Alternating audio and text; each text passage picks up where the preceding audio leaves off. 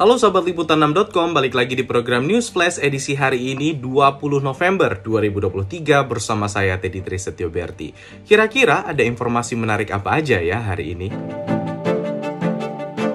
Di informasi pertama datang dari Presiden Jokowi yang melakukan pelepasan pengiriman bantuan kemanusiaan tahap kedua seberat 21 ton untuk warga Palestina di jalur Gaza.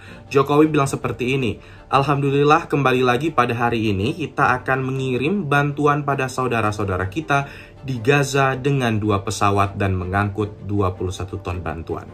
Bantuan tersebut berupa obat-obatan, perlengkapan rumah sakit, makanan, dan keperluan lainnya sesuai kebutuhan masyarakat di Gaza yang paling berdampak atas konflik Israel dengan kelompok Hamas Palestina. Sebelumnya pada 4 November 2023 Indonesia juga telah mengirim 51,5 ton bantuan berupa alat kesehatan dan makanan bagi warga Palestina di Gaza. Bantuan tersebut diserah terimakan ke Bulan Sabit Merah Mesir, kemudian diteruskan ke Badan PBB untuk pengungsi Palestina untuk disalurkan kepada warga yang terdampak konflik. Bantuan akan disalurkan melalui pintu Rafah di Mesir yang berbatasan langsung dengan kawasan Gaza, Palestina.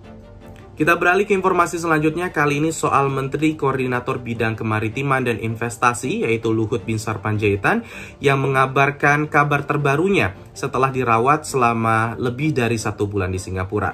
Luhut Binsar Panjaitan mengaku kondisinya kini sudah lebih baik dan telah terbebas dari jarum suntik. Selain itu, ia juga kini sudah diizinkan untuk melakukan olahraga ringan.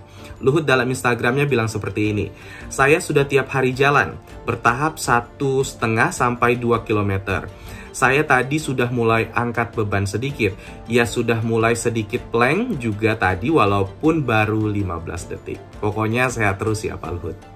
Kita beralih ke informasi selanjutnya kali ini soal informasi yang kurang mengenakan di mana telah terjadi kecelakaan maut kereta api Probowangi rute Ketapang Banyuwangi Surabaya yang menabrak minibus terjadi di Kabupaten Lumajang Jawa Timur pada Minggu malam 19 November 2023. Akibat kecelakaan maut itu, 11 orang dilaporkan meninggal dunia dan sudah dibawa ke Rumah Sakit Umum RSUD Dr. Haryoto Lumajang pada Senin dini hari.